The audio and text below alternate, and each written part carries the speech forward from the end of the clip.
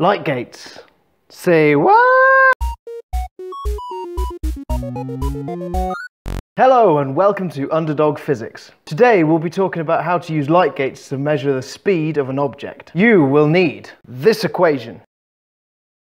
And to listen carefully. This is a light gate. This is another light gate. This is the first light gate again. This is a data logger to go with the light gate, and I like to call it a beepy box.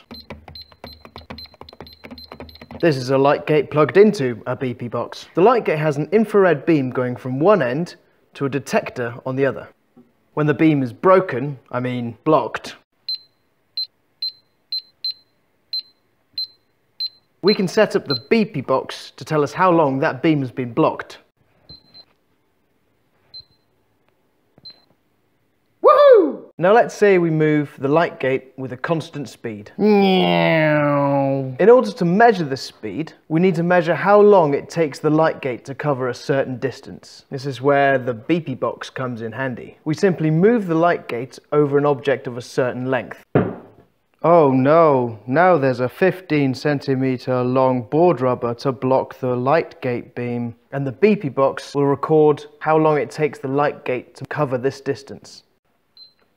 Bosh. Using our equation, we can measure the speed of the light gate by dividing the distance with the time. Now for other objects moving through a stationary light gate, the principle's the same. Just whack a piece of card of a known length on the moving object, and it's all good.